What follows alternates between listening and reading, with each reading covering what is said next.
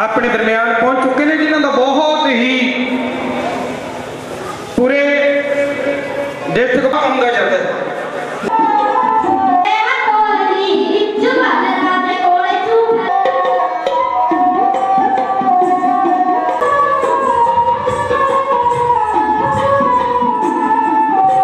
ਸਭ ਤੋਂ ਪਹਿਲਾਂ ਮੈਂ ਸਮੁੱਚੇ ਵਿਸ਼ਵ ਨੂੰ ਉਹ ਜਗਤ ਗੁਰੂ ਜਗਤ ਗੁਰੂ ਜਹਰ ਪੀਰ ਗੁਰੂ ਬਾਬਾ ਔਰ ਅਕਾਰ ਪੁਰਖ ਦੀ ਜਾਗਤ ਜੋਤ ਸ੍ਰੀ ਗੁਰੂ ਨਾਨਕ ਦੇਵ ਪਾਤਸ਼ਾਹ ਜੀ ਦੇ 550ਵੇਂ ਪ੍ਰਕਾਸ਼ ਪੁਰਬ ਤੇ ਆਪਣੇ ਦਿਲ ਦੀਆਂ ਗਹਿਰਾਈਆਂ ਵਿੱਚੋਂ ਲੱਖ ਲੱਖ ਵਧਾਈ ਦਿੰਦਾ ਹਾਂ। ਸ਼ਾਇਦ ਹੀ ਦੁਨੀਆ ਵਿੱਚ ਕੋਈ ਹੋਰ ਐਸਾ ਧਾਰਮਿਕ ਆਗੂ, ਧਾਰਮਿਕ ਰਹਿਬਰ ਹੋਇਆ ਹੋਵੇ, ਜਿਹਦਾ ਪ੍ਰਕਾਸ਼ ਪੁਰਬ ਜਾਤ, ਨਸਲ, ਧਰਮ, ਇਲਾਕਾਬਾਦ ਤੋਂ ਉਹਦਾ ਉੱਠ ਕੇ ਸਾਰੇ ਵਿਸ਼ਵ ਵਿੱਚ ਹੀ ਮਨਾਇਆ ਜਾ ਰਿਹਾ ਹੋਵੇ ਇਸ ਕਰਕੇ ਮੈਂ ਸਮਝਦਾ ਇਹ ਸਾਡੀ ਸਾਰਿਆਂ ਦੀ ਖੁਸ਼ਕਿਸਮਤੀ ਹੈ ਕਿ ਅੱਜ ਸਾਰਾ ਜਗਤ ਹੀ ਉਹ ਸਤਿਗੁਰੂ ਪਾਤਸ਼ਾਹ ਜੀ ਨੇ ਸਾਰੇ ਜਗਤ ਦੀ ਗੱਲ ਕੀਤੀ, ਸੰਸਾਰ ਦੀ ਗੱਲ ਕੀਤੀ, ਸਾਂਝੀ ਬੌਲਤਾ ਦੀ ਗੱਲ ਕੀਤੀ, ਅਧਿਆਤਮਵਾਦ ਦੀ ਗੱਲ ਕੀਤੀ ਔਰ ਸਦਾਚਾਰ, ਸੱਭਿਆਚਾਰ ਦੀ ਗੱਲ ਕੀਤੀ, ਮਨੁੱਖੀ ਬਰਾਬਰੀ, ਮਨੁੱਖੀ ਅਧਿਕਾਰਾਂ ਦੀ ਗੱਲ ਕੀਤੀ, ਉਹਨਾਂ ਦਾ ਪ੍ਰਕਾਸ਼ ਪੁਰਬ ਪੂਰੀ ਸ਼ਰਧਾ, ਸਤਿਕਾਰ ਨਾਲ ਮਨਾ ਰਹੇ ਹਾਂ।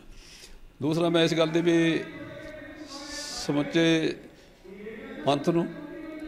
ਗੁਰੂ ਨਾਨਕ ਦੇਵ ਗੁਰੂ ਨਾਨਕ ਨਾਮ ਸਾਰੀ ਸੰਗਤ ਨੂੰ ਵਧਾਈ ਦੇਣੀ ਚਾਹਾਂਗਾ। ਕਿ ਕੱਲ ਦਾ ਜੋ ਦਿਨ ਸੀ 9 ਨਵੰਬਰ ਦਾ, ਉਹ ਵੀ ਪੰਜਾਬ ਦੇ, ਹਿੰਦੁਸਤਾਨ ਦੇ, ਸਿੱਖਾਂ ਦੇ ਇਤਿਹਾਸ ਵਿੱਚ ਇੱਕ ਨਵਾਂ ਨਵੇਕੜਾ ਪਰਚਾ ਦਰਜ ਹੋਇਆ, ਇੱਕ ਨਵਾਂ ਅੰਗ ਦਰਜ ਹੋਇਆ, ਜਿਸ ਤਰ੍ਹਾਂ 9 ਨਵੰਬਰ 1999 ਨੂੰ ਬਰਲਿਨ ਦੀ ਬਾਰ ਤੋੜ ਕੇ ਈਸਟ ਜਰਮਨੀ, ਵੈਸਟ ਜਰਮਨੀ ਕੁਛ ਪੱਛਮੀ ਤੇ ਪੂਰੀ ਜਰਮਨੀ ਨੂੰ ਇਕੱਠੇ ਕਰਕੇ, ਉਹ ਦੇਸ਼ ਦਾ ਏਕੀਕਰਤ ਹੋਇਆ ਸੀ। ਇਸ ਤਰ੍ਹਾਂ ਕੱਲ ਵੀ 9 ਨਵੰਬਰ ਦਾ ਦਿਹਾੜਾ ਸੀ, ਜਿਹੜੀ ਦੀਵਾਰ ਜਿਹੜੀ ਆ ਉਸ 15 ਅਗਸਤ 1947 ਤੋਂ ਬਾਅਦ ਖੜੀ ਹੋ ਗਈ ਸਾਡੇ ਦਰਮਿਆਨ ਕਰਤਾਰਪੁਰ ਲਾਂਘੇ ਦੀ, ਉਹ ਲਾਂਘੇ ਦਾ ਵੀ ਕੱਲ ਉਦਘਾਟਨ ਕਰਕੇ ਦੋਨਾਂ ਦੇਸ਼ਾਂ ਦੇ ਅੰਦਰ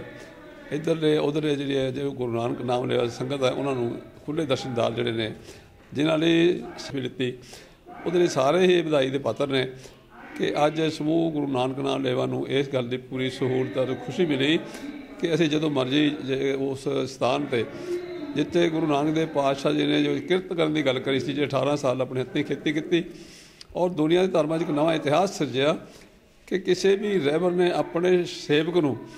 ਉਸ ਗੁਰਦਾ ਕਿਤੇ ਬਿਠਾਇਆ ਹੋਵੇ ਤੇ ਇਸ ਸੰਸਾਰ ਦੇ ਕਿਤੇ- ਜਿਹੜੇ ਕਿਸੇ ਵੀ ਧਾਰਮਿਕ ਇਤਿਹਾਸ ਵਿੱਚ ਨਹੀਂ ਆਉਂਦਾ ਉੱਥੇ ਹੀ ਗੁਰੂ ਨਾਨਕ ਦੇਵ ਪਾਤਸ਼ਾਹ ਨੇ ਗੁਰੂ ਅੰਗਦ ਦੇਵ ਜੀ ਨੂੰ ਆਪਣੀ ਥਾਂ ਤੇ ਗੱਦੀ ਤੇ ਬਿਠਾ ਕੇ ਉਹਨੂੰ ਸਿੱਖ ਜਗਤ ਦਾ ਗੁਰੂ ਬਣਾਇਆ ਸੀ। ਮੈਂ ਇਸ ਕਰਕੇ ਮੈਂ ਸਾਰੇ ਸਿੱਖ ਜਗਤ ਨੂੰ ਅੱਜ ਦੇ ਦਿਨ ਦੀਆਂ ਗੁਰੂ ਨਾਨਕ ਦੇਵ ਪਾਤਸ਼ਾਹ ਦੇ ਇਸ 550 ਪ੍ਰਕਾਸ਼ ਪੁਰਬ ਤੇ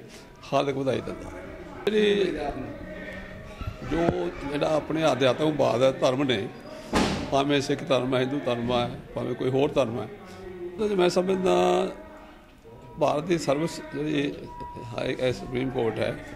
ਅਦਾਲਤ ਹੈ, ਜਿਹਦੇ ਵਿੱਚ ਹਿੰਦੂ ਧਰਮ ਨਾਲ ਸੰਬੰਧਿਤ ਵੀ, ਮੁਸਲਮਾਨ ਧਰਮ ਨਾਲ ਵੀ ਜਿਹੜੇ ਜੱਜ ਨੇ ਉਹ ਸ਼ਾਮਲ ਸੀਗੇ, ਉਹਨਾਂ ਨੇ ਸਰਬਸੰਮਤੀ ਨਾਲ ਜੋ ਫੈਸਲਾ ਕੀਤਾ, ਆਪਾਂ ਸਾਰਿਆਂ ਨੂੰ, ਸਾਰੇ ਭਾਰਤੀਆਂ ਨੂੰ, ਸਾਰੇ ਉਹਨਾਂ ਲੋਕਾਂ ਨੂੰ ਜਿਹਦਾ ਧਰਮ ਵਿੱਚ ਵਿਸ਼ਵਾਸ ਹੈ, ਉਹ ਸੁਪਰੀਮ ਕੋਰਟ ਦੇ ਫੈਸਲੇ ਨੂੰ ਇਨਵੈਂਟੀ ਜਿਹੜਾ ਉਹਦਾ ਸਤਿਕਾਰ ਕਰਨਾ ਚਾਹੀਦਾ, ਸਨਮਾਨ ਕਰਨਾ ਚਾਹੀਦਾ। ਬੜੇ ਲੰਬੇ ਸਮੇਂ ਤੋਂ ਬੜਾ ਇੱਕ ਟੈਨਸ਼ਨ ਬਣੀ ਹੋਈ, ਤਣਾਅ ਬਣਿਆ ਸੀ। ਦੋਨਾਂ ਧਰਮਾਂ ਦੇ ਲੋਕਾਂ ਦੇ ਦਰਮਿਆਨ ਮੈਂ ਸਮਝਦਾ ਉਹ ਤਣਾਅ ਖਤਮ ਹੋ ਗਿਆ, ਮੁੜ ਕੇ ਫਿਰ ਹਿੰਦੁਸਤਾਨ 'ਚ ਨਵਾਂ ਭਾਈਚਾਰਾ, ਨਵਾਂ ਸਿਧਾਂਤ ਸਹਿਤਾ ਜਿਹੜਾ ਉਹ ਸਿਰਜਿਆ ਜਾਵੇਗਾ। ਸਾਨੂੰ ਸਾਰਿਆਂ ਨੂੰ ਇਹਦੇ 'ਚ ਪੂਰਾ ਸਹਿਯੋਗ ਦੇਣਾ ਚਾਹੀਦਾ। ਇਹ ਕਿਸੇ ਦੀ ਜਿੱਤ ਨਹੀਂ, ਕਿਸੇ ਦੀ ਹਾਰ ਜਿਵੇਂ ਮੋਦੀ ਸਾਹਿਬ ਨੇ ਕਿਹਾ ਵੀ ਜਿੱਤ ਹਾਰ ਦਾ ਮਸਲਾ ਨਹੀਂ, ਇਹ ਸੁਪਰੀਮ ਕੋਰਟ ਦਾ ਫੈਸਲਾ, ਲੋਕਾਂ ਦੀਆਂ ਆਸਾਵਾਂ ਇਸ਼ਾਵਾਂ ਦੇ ਮੁਤਾਬਕ ਜਿਹੜਾ ਫੈਸਲਾ ਹੋਇਆ, ਸਾਨੂੰ ਸਾਰਿਆਂ ਨੂੰ ਉਹਦੇ ਫੁੱਲ ਚੜਾਉਣੇ ਚਾਹੀਦੇ ਨੇ। श्री गुरु नानक देव जी के 550वें प्रकाश उत्सव पर समाना के गुरुद्वारा रविदास के अंदर आज एक धार्मिक कार्यक्रम का आयोजन किया गया, जिसमें श्रोमणी गुरुद्वारा प्रबंधक कमेटी के पूर्व अध्यक्ष कृपाल सिंह बडुंगर ने शिरकत की और उन्होंने श्री गुरु ग्रंथ साहब जी को नतमस्तक हुए। इस मौके पर उन्होंने मीडिया से बातचीत करते कहा कि जो पाकिस्तान द्वारा करतारपुर कॉरिडोर को खोला गया है, इससे हिंदुस्तान और पाकिस्तान के रिश्ते मज़बूत होंगे। जैसे पश्चिमी जर्मनी और पूर्वी जर्मनी ने के बीच बर्लिन की दीवार थी, वो लोगों की आवाज़ बनकर उठी तो वो तोड़ दी गई और दोनों देश एक हो गए। इसी तरह मुझे उम्मीद है कि हिंदुस्तान और पाकिस्तान के रिश्ते इस रास्ते ही खुलने से मज़बूत होंगे। दूसरी तरफ़, उन्होंने सुप्रीम कोर्ट के द्वारा जो कल फैसला दिया गया है भी श्री राम मंदिर के हक में, जिसमें सभी धर्मों के जजों ने बैठकर एक मत से इस फैसले को सुनाया, उसको सभी को मानना चाहिए और इससे जो हिंदुस्तान के बीच में दो पक्षों के बीच में तनाव था वो खत्म होगा और देश के अंदर एक नए समाज की सृजना होगी कैमरामैन बालकृष्ण गर्ग के साथ पुरुषोत्तम कौशिक समाना न्यूज